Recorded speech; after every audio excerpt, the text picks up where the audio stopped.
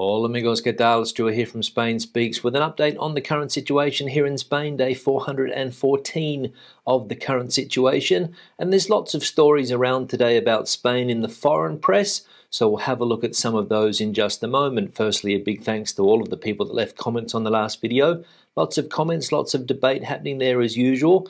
Thanks to people that bought merchandise, and a big thanks to my patrons on Patreon for your continuing support and helping me make these videos. Now, let's get into the news. And as I said, there's lots of stories around today about Spain in the foreign press. It's always good to see what some of these international publications are saying about Spain, get out of that Spanish bubble every now and again. And the first story we're going to look at today is about the Madrid elections that are coming up this coming Tuesday. As we can see from this headline from Al Jazeera, Spain Trump like Madrid governor set for election win. Isabel Diaz Ayuso has kept bars open during the pandemic, winning praise among businesses who have named a beer after her. Described by some as a populist, she has a tough talking public speaking style that seems to thrive on controversy. Her pinned tweet ahead of the May 4 vote screams communism or freedom. Since taking over as the PP's regional leader in 2019, Ayuso has gained plenty of airtime with outlandish claims such as that traffic jams at 3 in the morning in Madrid form part of the city's cultural identity, and that when it comes to air pollution in the capital, nobody has died died from it. So, according to Al Jazeera, there, Spain has its own Trump like politician, Isabel Diaz Ayuso, who is up for re election on Tuesday. And believe me, when you talk to people in Madrid about this politician, she really divides opinion, similar to Donald Trump. Now, Spain has finally submitted its EU Recovery Fund spending plans to Brussels, and although the government is upbeat about the plans, some people are sceptical. As we can see here in this headline from the Financial Times, Spain submits EU Recovery Fund spending plans. Some economists say government's forecast of likely boosted growth is too optimistic. Spain has sent Brussels its landmark plan to spend 140 billion from the EU Coronavirus Recovery Fund, as Pedro Sanchez's government seeks to respond to criticism that it has centralized control over the money and that the immediate economic impact may be less than hoped. The Socialist Prime Minister argues that the plan, formally submitted for EU approval on Friday, will transform the economy's economy in the same way that Spain's entry into the European community did in 1986. So, is it a revolutionary plan to transform Spain's economy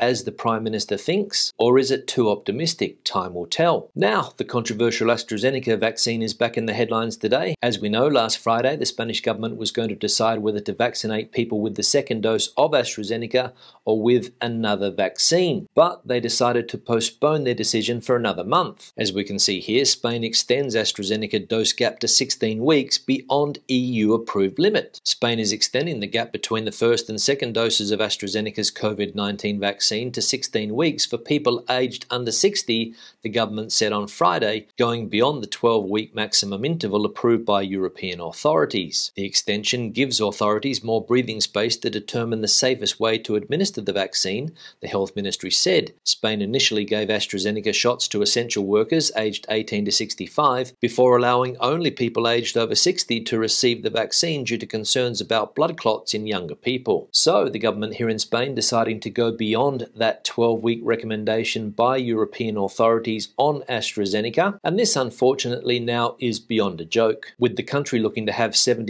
of the population vaccinated by the end of summer, without AstraZeneca, it's going to be very, very difficult. And now the problem of vaccination logistics is rearing its ugly head. As we can see from this headline, the logistical challenge of vaccinating 18 million Spaniards on vacation. The health emergency caused by the coronavirus reached its turning point worldwide at the end of 2020. The development of vaccines was a milestone for science and humanity, which look forward to the only approved solution against the virus for the time being. Now the problem is different to be able to immunize as many people as possible as soon as possible in order to contain the advance of the disease and also to alleviate the very serious damage caused by the pandemic to the economy. But as we all know here in Spain, the seriousness of the pandemic has been relegated because of politics. The idea in some other countries around the world with a similar health crisis has been to vaccinate people as soon as possible, but here in Spain and the European Union, unfortunately, that has not been the case. And the longer this goes on, the more obstacles that seem to get in the way. And that challenge that we saw there of vaccinating 18 million Spaniards when they're on holidays over the months of July and August is going to be a big one. Now let's have a look at a summary of the health situation in Spain. We can see the accumulated incidence rate for the last 14 days now at 229. There are currently 9,668 people hospitalized around the country with COVID. There are 2,308 COVID patients currently in ICUs. The amount of COVID related daily deaths is now sitting at 136, down 14% on previous data. And when it comes to vaccines, we can see that 9.3% of the population have completed their vaccinations and 24.3% of the population have received at least one dose. And if we have a look at the map on the left, we can see that there are still three autonomous communities here in Spain at an extreme risk level Madrid, Navarra, and the Basque Country. Now, with the summer months here in Spain just around the corner, a lot of the coastal resorts are starting to prepare for the influx of tourists. But one British newspaper is asking the question is Spain ready to open its borders to British tourists? Joker's Bar on the seafront in Magaluf lies quiet these days, but very soon its usual patrons could be gearing up to return.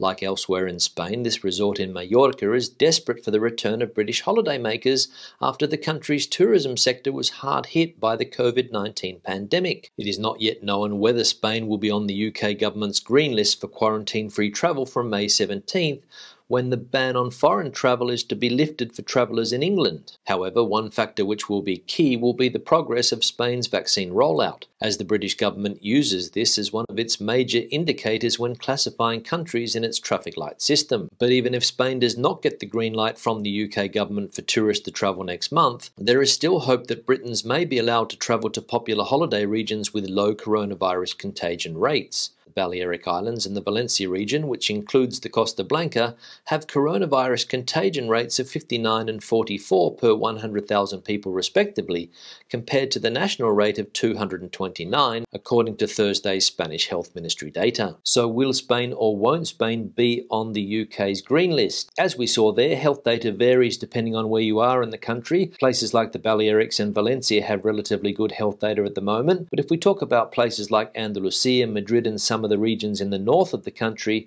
the situation is not so good. So, is Spain ready to open its borders to not only British but other tourists as well? What do you think? And finally, a story about Brexit and some of the problems that it's causing for residents living here in Spain. As we can see from this headline from The Express, Benidorm expat slams impossible residency requirements for Spain post Brexit. Relocating into the sunshine of Spain is a popular move for Britons of all ages, whether that is for retirement, a new job, or simply for a fresh start. However, since Brexit came into force, rules surrounding freedom of movement between the UK and the EU have seen some changes. Crucially, Britons now need to apply for specific visas in order to be allowed to relocate to the country. According to one expat, this new rule isn't only impacting those with plans to relocate, but is also causing major issues for those already living in Spain. With COVID causing a complete collapse in tourism, forcing most bars to lay off staff, issues around residency has become a major problem, this person said. The coronavirus pandemic put a stop to travel and saw the resort's annual tourism figures plummet. Coupled with the impact of government ordered lockdowns across the country, numerous businesses fell into administration or were forced to lay off staff, many of whom were expats. In most cases, in order to obtain a permanent residency in the country, Britons will need to be able to prove that they are in employment or are bringing in a certain income. So a Benidorm resident there not happy with the resident requirements now in place post Brexit. And let's be honest, Brexit has most likely thrown a spanner in the works for a lot of people that were planning to come and live or work in Spain. Now let's have a look at some of the comments from previous videos. One here from Mike Van Bike. I just travelled from Switzerland to Spain on the way back to Portugal. Your mask rules are mental. I see people wearing a mask in the street and walk into a bar and take the mask off. Then when they leave the bar, they put the mask back on for the outside. Why do people put up with this SH1T? Yeah, Mike, thanks for the comment. And to be honest, you could get the impression that the mask rules here in Spain are a bit mental, especially compared with some other countries around the world. I think everybody understands that when you are in a crowded space or if you go into a shop or a bar or a restaurant, you need to put your mask on. But as you said there, sometimes that is the opposite case here in Spain. When people go into a restaurant, the first thing they do is take their mask off when they sit down, even though I don't think that is the correct behavior, but I'm not really sure because rules change constantly. And then, as you said, when they leave the premises, they put their mask back on. Now, I can understand the mask rules for wearing them outside if you're in a very crowded city. And let's be honest, a lot of the cities here in Spain are very, very crowded, or they can get very, very crowded, especially at certain times of the day. And if you go to some of the main shopping areas, you'll see a lot of people in the street. So I can understand that you might need to put a mask on in that situation, or if you go to a concert or somewhere where there are a lot of people gathered. But if you are out and about in the fresh air and there are not too many people around and you can maintain a safe distance between yourself and another person, I don't see the point of having to wear a mask. But it is the law, and the majority of people do follow that rule. And maybe you're right, it is a little bit mental. One here from Anthony Sorry, Stuart, I have no intention of holidaying in Europe this year. Too many COVID cases still, and the EU has been very critical of everything British, even rubbishing the AstraZeneca vaccine, which is probably the leading lifesaver from COVID. Yeah, Anthony, thanks for the comment. There does seem to be an anti EU feeling in the UK at the moment. I don't know how widespread it is. I don't know whether it's a general feeling or only a certain amount of the population feel this way, but I do get the impression reading some of the comments on this channel and some of the other stories that I have seen on the internet in recent times. Some of the British tabloids, like the one we saw before, The Express, are really pushing this anti EU sentiment, even calling people to boycott all things European and to avoid holidays to places like Spain this year. But as you mentioned there, the health situation in the EU or some of the European Union countries is also going to be a determining factor on whether or not people decide to take a holiday abroad this year from countries like the UK. But even if people like like yourself, Anthony, decide to stay at home this year, I'm sure that many other people will decide to take a holiday to one of Spain's many costas this summer, providing that Spain is on the green list. One here from Broadsword people often say they want more good news stories, Stuart, but when publications report good news, they get accused of being propaganda outlets or of advertising or of promoting fake agendas. People say they want more good news, but in truth, they want to not be told the bad news. Yeah, Broadsword, thanks for the comment. Obviously, referring to another comment we saw the other day from somebody complaining that there's not enough positive news around at the moment and that everything is too negative. And you're right, when the press do report good stories, they get accused of those things that you mentioned there. And I think if you look at the majority of news outlets around the world and the stories that they put out, it is clear to see that bad news sells. And one of the reasons people like to read bad news could be that people like to compare themselves